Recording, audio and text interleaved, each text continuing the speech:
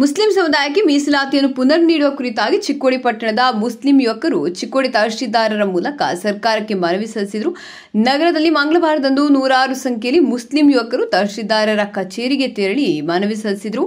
ಈ ಸಂದರ್ಭದಲ್ಲಿ ಯುವಕ ಮುಖಂಡರಾದ ಗುಲಾಬ ಹುಸೇನ, ಬಾಗ್ವಾನ, ಮತಿನ್ ಮುಜಾವರ, ಸಾಬಿರ ಜಮಾದಾರ ಇಂತಿಯಾಜ್ ಜಮಾದಾರ, ರಿಯಾಜ್ ಹಡಗಲಿ, ಸಲಮಾನ ಪಠಣ ಎಂಎನ್ ನದಾಫ್ ಸಮೀರ್ ಮುಲ್ಲಾ ಸೇರಿದಂತೆ ಅನೇಕ ಯುವಕರು ಪಾಲ್ಗೊಂಡಿದ್ದರು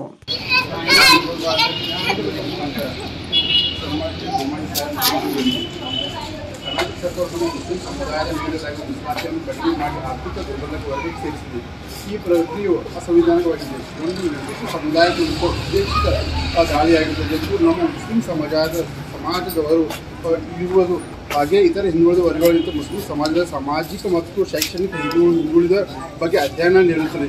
ಮೀಸಲಾತಿ ಕಲ್ಪಿಸುತ್ತದೆ. ಈ ಹಿಂದೆ ರಚಿಸಲಾಗಿದ್ದ ನಾನಗೌಡ ಸಮಿತಿ, ವೆಂಕಟಸ್ವಾಮಿ ಆಯೋಗ ಹಾಗೂ ಜಿನ್ನಪ್ಪ ರೆಡ್ಡಿ ಆಯೋಗ ಮುಸ್ಲಿಂ ಸಮಾಜದ ಸಮಾ ಸಮಾಜದವರು ಹಿಂದುಳಿದ ವರ್ಗ ವರ್ಗಗಳಿಗೆ ಸೇರಿ ಸೇರಿಸುತ್ತಿದೆ ಅಂತ ತಿಳಿಸುತ್ತಾರೆ. ಹೀಗಿರುವಾಗ ಸಮುದಾಯದ ಅಭಿವೃದ್ಧಿ ಅಭಿವೃದ್ಧಿಗೆ ತಡೆಯೋ ತಡೆಯೋ ಅವರನ್ನು ಮುಖ್ಯ ಮುಖ್ಯವಾಗಿ ಬಾರದಂತೆ ಮಾಡುವ ಷಡ್ಯಂತ್ರ ನಡೆಸಲಾಗಿದೆ.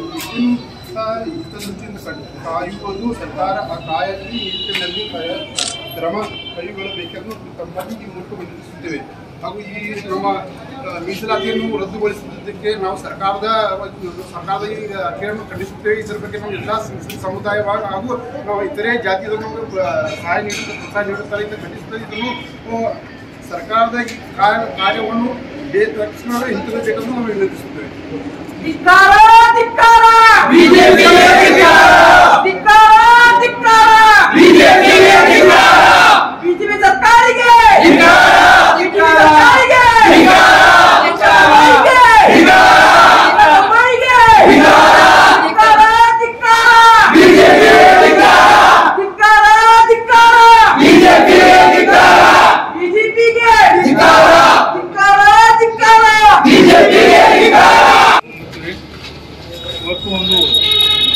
ಮೀಸಲಾತಿಯನ್ನು ಕಡಿಮೆ ಮಾಡಿ, ಸರ್ಕಾರ ಕಡಿಮೆ ಮಾಡಿ ಮುಸ್ಲಿಂ ಸಮುದಾಯಕ್ಕೆ ಅನ್ಯಾಯ ಮಾಡಿ ಅಂತ ನಾವು ಎಲ್ಲರೂ ಕೂತ್ಕೊಂಡು ಶಾಂತಿಯುತವಾಗಿ ಬಂದು ಒಂದು ಈ ಕಾರ್ಯಕ್ರಮವನ್ನು ಸಲ್ಲಿಸಿದ್ದೀರಿ ಒಂದು ಶಾಂತಿಯುತ ಒಂದು ಮೆರವಣಿಗೆ ಮೂಲಕ ಬಂದು ಮನವಿ ಸಲ್ಲಿಸಿ, ಒಂದು ಮಾನವೀಯತೆ ದೃಷ್ಟಿಯಿಂದ ಮೀಸಲಾತಿಯನ್ನು ಕೊಡಬೇಕು ಅಂತ ಹೇಳಿ ನಾವು ಒಕ್ಕಟ್ಟನ್ನು ಮಂಡಿಸಿದ್ದೇವೆ.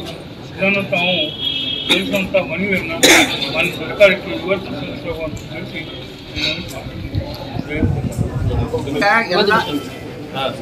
ಆಗಲಿ ಈಗ ಕರ್ನಾಟಕ ಭಾರತ ಎಲ್ಲ ಎಲ್ಲ ಧರ್ಮದೊಳಗೆ. ಇದು ಯಾರೇ ಇರಲಿ ಅವ್ರಿಗೆ ಮುಸ್ಲಿಮ್ ಇರಲಿ, ಕ್ರೈಸ್ತ ಇರಲಿ, ಬೌದ್ಧ ಇರಲಿ, ಯಾವುದೇ ಸಿಖ್ ಎಲ್ಲರಲ್ಲೇ ಜೈನ್ ಇರಲಿ, ಎಲ್ಲರಲ್ಲೇ ಶ್ರೀಮಂತರು ಅದಾರು ಬಡವರು ಅದಾರು ಮತ್ತು ಭಾಳ ಹುಷಾರು ಹುಡುಗರು ಬಿದ್ದಾವೆ ಹುಷಾರು ಹುಡುಗರು ಕಲಿಬೇಕಾದ್ರೆ ಅವ್ರಿಗೆ ಆರ್ಥಿಕ ಪರಿಸ್ಥಿತಿ ಸರಿ ಇಲ್ಲ. ಬಡವ್ರ ಮಕ್ಕಳು ಹುಷಾರದಾರ ಅದಕ್ಕೆ ಏನೈತಿ ಸರ್ಕಾರ ಜನ ಸರ್ಕಾರ ಏನೈತಿ, ಹಿಂದಿನ ಸರ್ಕಾರಗಳ ಒಂದು ಜಾರಿ ಮಾಡಿದ್ರೆ. ಏನಂತ ಒಂದು ನಿರ್ದಿಷ್ಟ ಮೀಸಲಾತಿ ಕೊಡಬೇಕು ಅಂತೇಳಿ ಕೆಲವು ಅಲ್ಪಸಂಖ್ಯಾತರಿಗೆ ಎಸ್ ಸಿ ಮೀಸಲಾತಿ ಕೊಟ್ಟಿದ್ರು. ಆ ಮೀಸಲಾತಿ ಹಿಂಗೆ ಕಂಟಿನ್ಯೂ ಬಂದಿತ್ತು. ಆದರೆ ಈಗಿನ ಸರ್ಕಾರ ಏನೈತಿ, ಕರ್ನಾಟಕದೊಳಗೆ ಯಾರ್ದೋ ಒಬ್ಬ ರೊಟ್ಟಿ ಬೇಡಿದಾರ ಅಂತೇಳಿ ಇನ್ನೊಬ್ಬರು ರೊಟ್ಟಿ ಕಸು ಕೊಟ್ಟಿದ್ದಾರೆ. ಅಂದರೆ ಈಗ ವೀರ ಲಿಂಗಾಯತ್ ಸಮಾಜಕ್ಕೂ ಮೀಸಲಾತಿ ಬೇಕಾಗಿ ಕೊಡ್ಬೇಕು ಅವ್ರಿಗೂ. ಅಲ್ಲಿ ಒಳ್ಳೆಯವರು ಅದಾರ ಬಡವರು ಭಾಳ ಅಲ್ಲಿ ಕೊಡ್ಬೇಕಾಗ್ತೈತಿ. ಮುಂದೆ ನಮ್ಮ ಒಕ್ಕಲಿಗರಿಗೂ ಕೊಡ್ಬೇಕಾಗ್ತೈತಿ. ಒಕ್ಕಲಿಗರನ್ನು ಬೇಡಿದ್ದಾರೆ. ಅಲ್ಲಿ ನಿಮ್ಮ ಕಡೆ ಒಂದು ರೊಟ್ಟಿ ಬೇಡ್ರಿ ನಿಮ್ಮ ಕಡೆ ರೊಟ್ಟಿ ಇಲ್ಲ ನಮ್ಮ ಕಡೆ ರೊಟ್ಟಿ ಇಲ್ಲ ಅಂತ ಹೇಳ್ಬೇಕಲ್ಲ ನೀವು? ನಿಮ್ಮ ಕಡೆ ಗಡ ಗಡಕು ಇಲ್ಲ. ನನ್ನ ಕಡೆ ರೊಟ್ಟಿ ಇಲ್ಲ ಅಂತ ಹೇಳುವಂಥ ಅದನ್ನ ತಾಕತ್ತಿಲ್ಲ ಅದಕ್ಕೆ ಸರ್ಕಾರ ಏನು ಮಾಡಿತು? ಅಲ್ಪಸಂಖ್ಯಾತರ ಕೋಟಾದಾಗಿಂದ ಮೀಸಲಾತಿ ಕಸದ ಕೊಟ್ಟಿದ್ದಾರೆ ಕಸದ ಕೊಟ್ಟ ನಂತರ ಈಗ ಇವ್ರು ಏನು ಮಾಡಿದ್ರು? ಒಕ್ಕಲಿಗ ಸಮಾಜದ ತಿರಸ್ಕಾರ ಮಾಡಿದ್ದಾರೆ ಅವರು. ಅವ್ರೇನು ಇನ್ನೊಬ್ಬರು ರೊಟ್ಟಿ ಕಸದ ನಮ್ಗೆ ಕೊಟ್ಟನ ಒಂದು ರೊಟ್ಟಿ ತಿನ್ನಕ್ ಸಿದ್ದಿಲ್ಲ ಅಂತ ಅವ್ರಿಗೆ ಸ್ಟೇಟ್ಮೆಂಟ್ ಕೊಟ್ಟಿದ್ದಾರೆ. ಒಕ್ಕಲಿಗ ಸಮಾಜದವ್ರು. ಅಂದ್ರೆ ಅವರು ಸ್ವಾವಲಂಬಿ ಅವ್ರು ಇನ್ನೊಬ್ರು ಹೊಟ್ಟೆ ಮ್ಯಾಗ ಬಿಡೋದು ನಮ್ಗೆ ಕೊಡೋದು ಅವಶ್ಯಕತೆ ಇಲ್ಲ ಅಂತ ಒಕ್ಕಲಿಗ ಸಮಾಜದವ್ರು ಹೇಳಿದರು. ಇದು ಮಾಡಿದ ತಪ್ಪೈತಿ ಕೂಡಲೇ ಯಥಾಸ್ಥಿತಿ ಕಾಯ್ಕೊಳ್ಬೇಕು. ಮತ್ತು ಬರೋ ದಿವಸದೊಳಗೈತಿ ಪ್ರತ್ಯೇಕ ಮೀಸಲಾತಿ, ಪ್ರತ್ಯೇಕ ಧರ್ಮದವರಿಗೆ ಕೊಡಲಿಕ್ಕೆ ವಿಚಾರ ಮಾಡಬೇಕು. ಮತ್ತು ಈಗಾಗಲೇ ಅಲ್ಪಸಂಖ್ಯಾತರದ್ದು ಏನು ಮೀಸಲಾತಿ ಕಸ್ಕೊಂಡಿದ್ದೀರಿ ಅದನ್ನೇನೈತಿ ಅವ್ರಿಗೆ ವಾಪಸ್ ಕೊಡಬೇಕು. ಇಲ್ಲ ಅದು ಉಗ್ರ ಹೋರಾಟ ಆಗ್ತಾವ ಅಂತ ಹೇಳಿ ಹೇಳಲಿಕ್ಕೆ ಇಷ್ಟಪಡ್ತೀನಿ.